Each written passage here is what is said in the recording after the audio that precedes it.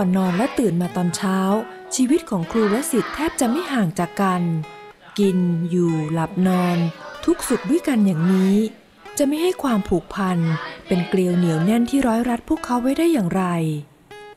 เพราะคุณครูที่โรงเรียนฉะเชิงเซาปัญญานุกูล ต่างตระหนักดีว่า สิทธิรักของพวกเขาอาจไม่สมบูรณ์แบบเหมือนเด็กอื่น ๆ ด้วยเพราะมีความพิการทางสติปัญญา ทั้งครูและผู้ปกครองต่างเห็นตรงกัน จากการระดมความคิดว่า ปัญหาอันหนักหน่วงของสิทธิ์ คือเมื่อจบไปแล้วไม่มีอาชีพเลี้ยงตัวเอง พวกเขาจึงเห็นตรงกันว่าจำเป็นต้องสร้างกระบวนการที่ทำให้เด็กๆ กลุ่มนี้ มีความมั่นคงทางอาชีพ คู่ขนานไปกับการชดเชยสิ่งที่พร่องหายไปทางสติปัญญา เราก็ได้ประชุมแล้วก็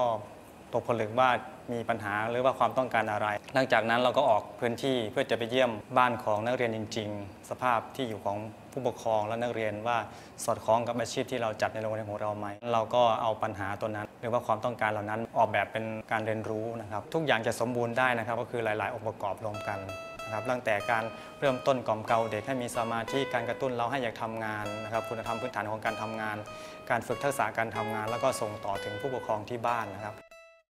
จากภาพกิจกรรมเหล่านี้ อาจทำให้เราคิดว่า กระบวนการจัดการเรียนการสอนของโรงเรียนฉะเชิงเซาปัญญานุกูล แทบไม่ต่างจากการฝึกอาชีพในสถานศึกษาอื่น ๆ หากทว่าความเป็นจริง กระบวนการเหล่านี้ไม่ได้เกิดขึ้นอย่างลอยๆ แต่ผ่านการไตร่ตรองแล้วว่า นอกจากช่วยฝึกอาชีพแล้ว กิจกรรมเหล่านี้ยังสามารถช่วยเสริมพัฒนาการให้เด็กๆ ไปในตัว ไม่ว่าจะเป็นการกระตุ้นสมอง การพัฒนากล้ามเนื้อมัดเล็ก และการฝึกดึงสมาธิเป็นต้น การฝึกอาชีพให้เด็กพิการเหล่านี้ จึงไม่ใช่แค่การหวังทำงานแลกเงิน แต่คือการทำงานแลกความเข้าถึงระดับปกติของการใช้สติปัญญา ให้สามารถทำงานได้อย่างปกติสุขเชกเช่นคนอื่นๆ ในสังคม ฉะนั้น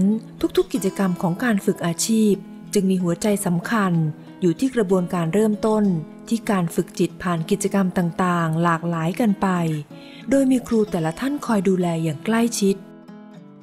สำหรับห้องห้องนี้นะคะก็คือเป็นห้องส่งเสริมและกระตุ้นพัฒนาการ และเตรียมความพร้อมสำหรับเด็กที่มีความต้องการพิเศษนะคะ ด้วยเทคนิคสโนซิเลนก็คือเป็นเทคนิคที่มีการจัดสภาพแวดล้อม ที่มีความหลากหลายทางด้านการรับความรู้สึกของมนุษย์นะคะ ไว้ในห้องนี้ เด็กสมาธิสั้น เราก็เอาเด็กไปฝึกสมาธิก่อน ถ้าเด็กมีสมาธิแล้วเนี่ยเด็กก็จะสามารถทำกิจกรรมอย่างอื่นได้ การถักไหมพรมจากเด็กที่ไม่นิ่งเขากลับ นิ่งขึ้น แล้วก็สามารถทำงานได้บรรลุในวัตถุประสงค์ การกวนครับก็จะได้ฝึกกล้ามเนื้อมัดเล็ก เด็กเขาก็จะจะมีสมาธิมากขึ้น ความรู้ในการฝึกอาชีพ ไม่ได้ถูกปิดกั้นแค่เพียงในรั้วโรงเรียน เพราะหากจะทำให้ยั่งยืนต้องโยงใยไปให้ถึงที่บ้าน เพราะเมื่อพ้นจากโรงเรียนไป ชีวิตส่วนใหญ่ของพวกเขาจะอยู่ที่นั่น โรงเรียนจึงเปิดโอกาสให้ผู้ปกครอง เข้ารับการฝึกอาชีพกับเด็กๆด้วย ทางโรงเรียนเนี่ย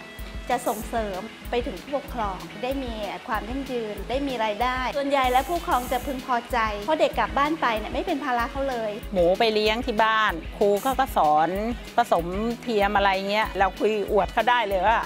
เราภูมิใจลูกชายเรา ครูที่นี่เขาคือเป็นแม่พิมพ์ของชาติจริง ๆ เขาคือเป็นครูจริง ๆ และหากใครมีโอกาสมาเยือนโรงเรียนฉะเชิงเซาปัญญานุกูลในวันศุกร์ จะได้กลุ่นกลิ่นขนมกำจายไปทั่ว นั่นเพราะหลักสูตรสอนทำเบเกอรี่นี้ ซึ่งขนมจากที่นี่สามารถทำขายจนได้รับการตอบรับที่ดี เด็กๆได้มีความรู้ในการจัดการการวางแผนไปด้วยในตัว หากการฝึกสมาธิของมนุษย์ปกติทั่วไป พาไปสู่การหลุดพ้นจากทุกข์เข็น แต่สำหรับเด็กๆที่นี่แล้วความสำคัญของสมาธิมีมากกว่าการพ้นทุกข์ทางจิตใจ เพราะสมาธิสำหรับเด็กพิการเหล่านี้ หมายถึงเครื่องมือหนึ่งในการเข้าถึงอาชีพ อาชีพที่จะช่วยให้พวกเขาได้มีศักดิ์ศรี เสมอคนอื่นๆในสังคมจุดหมายไม่มี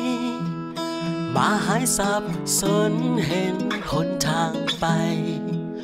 มามีจุดหมายเพราะครูสอนดี